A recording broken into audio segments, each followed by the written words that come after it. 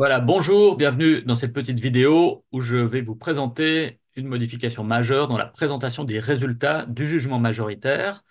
Euh, Donc pour ça, j'ai affiché ici le résultat d'un jugement majoritaire euh, assez classique où on voit qu'il était question de déterminer le sujet de, ou les sujets dans un séminaire et il y avait un certain nombre de propositions. Donc euh, pour ceux qui ne connaissent pas très bien encore le jugement majoritaire, c'est une méthode de vote où, au lieu de sélectionner une option parmi plusieurs, eh on va se prononcer sur chacune d'entre elles euh, en les classant de à rejeter jusqu'à excellent. Et puis, ça va nous permettre d'afficher des résultats où on va se rendre compte de l'engagement des personnes concernées dans cette démarche.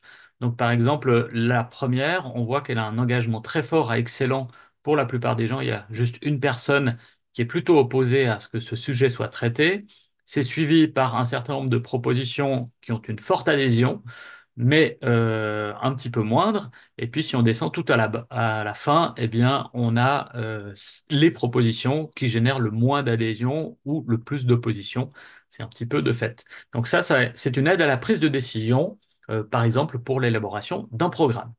Donc, qu'est-ce qui change dans cette nouvelle version? Ben, C'est surtout ce rectangle gris qui est ici en dessus, qui va me permettre de définir comment je veux afficher les résultats dans le but de faire un rapport. Alors, euh, j'ai un certain nombre d'options. Par exemple, je peux afficher des pourcentages, je peux afficher la question complète. Qu'est-ce que c'est la question complète? Eh C'est que parfois, derrière ce terme-là, il y a une question euh, plus détaillée. En l'occurrence, je vois que ici, ce n'est pas le cas. Donc, je ne vais euh, pas l'illustrer maintenant, je le ferai après. Les scores, c'est la même chose, ça n'a pas tellement de sens sur ce type de, questionnaire-là. Et donc, je vous le montrerai après. Euh, par contre, parmi toutes les réponses qui sont ici, eh bien, je peux décider d'afficher uniquement les 5 meilleures ou les 10 meilleures parce que je vais partir du principe que c'est les celles dans lesquelles je vais faire le choix. Euh, je ne m'intéresse pas aux moins bons résultats et puis je vais pouvoir filtrer ici pour obtenir un affichage qui a été modifié avec l'affichage des pourcentages ici et uniquement les 10 meilleurs. On voit qu'il y en a 12 qui n'ont pas été affichés. Donc ça, ça permet de facilement générer un rapport si je décide d'imprimer ce document-là. J'ai une page de garde qui va être qui va être euh, complétée, enfin que vous devrez compléter, parce qu'on y trouve peu de choses. Mais par contre, le résultat, lui, eh bien, il est ici les 10 meilleurs, non affichés 12, tels que présentés à l'écran. Voilà, donc ce que ça change pour les résultats classiques, eh bien, c'est la possibilité d'afficher ces pourcentages ou non, d'afficher les questions complètes ou non, euh, de sélectionner ce qu'on choisit. Et puis, il y a aussi une option qui est ici, qui consiste à filtrer dans un nouvel onglet. Et pour ça, je vais vous le montrer aussi sur un autre type de questionnaire. Donc là, c'est un questionnaire qui est plus complexe, euh, puisqu'il utilise notamment les groupes. Donc là, il n'y a pas de groupe. Hein. À ce stade-là, j'ai juste toutes mes propositions en vrac, mais dans la configuration, eh bien, je les ai groupées par catégorie. Et là, au lieu de filtrer, eh bien, je vais filtrer dans un nouvel onglet, ce qui va me créer un résultat euh, classé dans les catégories. Ici, c'est l'environnement de travail, la circulation de l'information, la culture d'entreprise. Et on voit que à chaque fois, ça m'a sélectionné les questions qui étaient dans ces catégories à cet endroit-là. Voilà, donc pour chaque catégorie, ça va me permettre de voir quelle est la meilleure et quelle est la moins bonne. Euh, je peux renommer ici cet onglet. Donc, par exemple, filtrer, filtrer par catégorie. Voilà, pour le retrouver. Je peux aussi les regrouper par tag et faire la même chose. Donc les, tags, une proposition peut avoir plusieurs tags, donc potentiellement, eh bien, je vais retrouver la même question à différents endroits de façon, selon la façon dont elle a été taguée. Voilà, si je reviens sur mon filtre par catégorie, eh bien, euh, je vois que euh, j'ai mon, mon, classement ici, environnement de travail, circulation de l'information, etc. Je vais pouvoir jouer avec les autres critères. Par exemple, je peux afficher la question complète qui se cache derrière le titre, c'est-à-dire la question qui était posée aux gens. Et si je fais ça et que je filtre, déjà, ça va le faire dans l'onglet courant. Donc, ça va me remplacer le contenu de celui-ci sans toucher aux autres. Et puis, ça va me permettre de rendre ces questions visibles ici. De la même manière, je peux afficher les scores. Alors, ça n'a pas toujours du sens, mais dans le cas précis, eh bien, on va comprendre à quoi ça sert. Donc ici, je suis dans mon environnement de travail. Et puis, j'ai affiché la somme de tous les gens qui pensent que les différents points sont excellents, sont euh, bons, sont très bons, etc. Et puis, la somme du ressenti en fonction de, dysfonctionnement euh, où euh, c'est non fonctionnel ou, ou c'est insatisfaisant.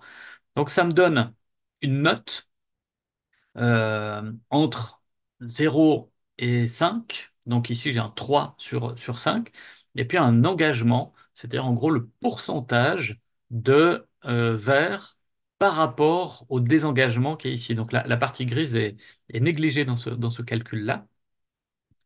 Euh, alors ce qui est intéressant, c'est que ça va permettre de comparer les choses. Donc par exemple, ici, euh, sur mon, mes différents domaines d'environnement de travail, de circulation de l'information, de culture d'entreprise, etc., eh bien, en fait, j'ai une moyenne qui est à euh, 2,925. Et donc, mon 3, il est légèrement au-dessus de la moyenne.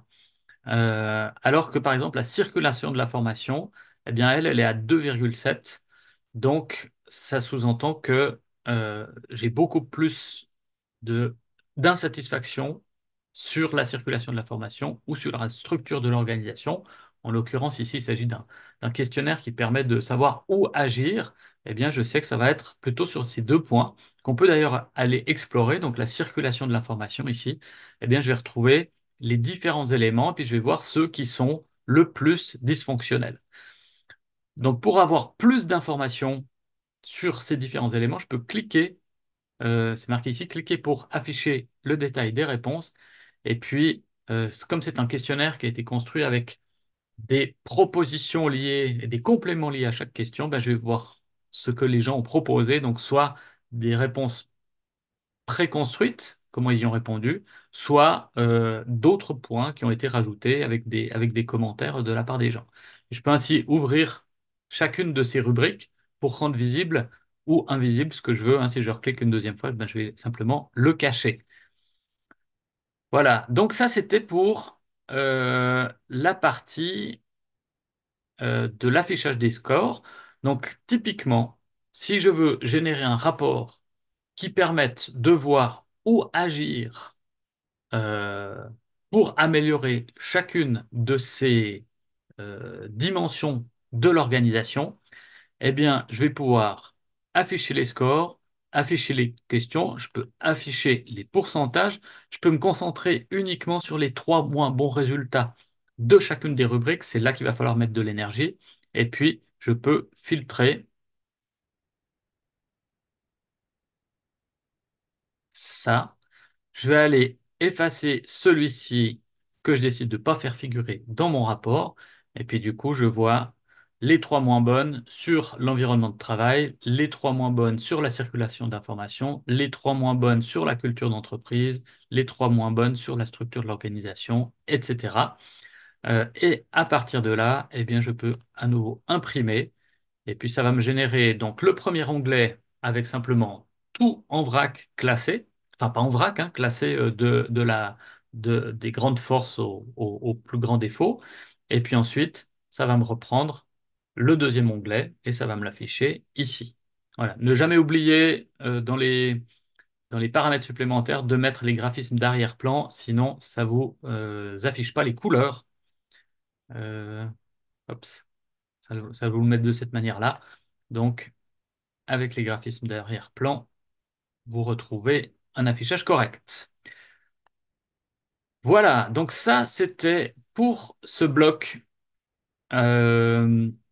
qui permet de modifier l'affichage en créant potentiellement plusieurs versions.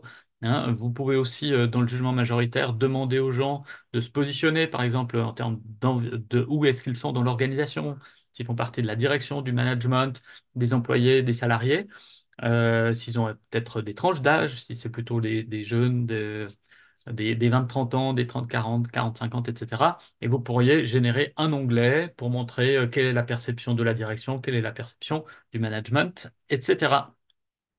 Voilà, j'espère que cette nouvelle fonctionnalité vous servira et puis je vous souhaite une bonne utilisation du jugement majoritaire.